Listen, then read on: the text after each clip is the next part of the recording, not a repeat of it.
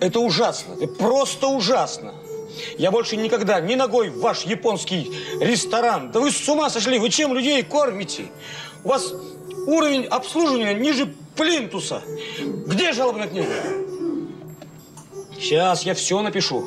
Все напишу вашему повару. А он все равно не поймет. Он японец. В смысле? В смысле, настоящий японец из настоящей Японии. Ладно. Я тогда так напишу, чтобы он понял. Безобразие.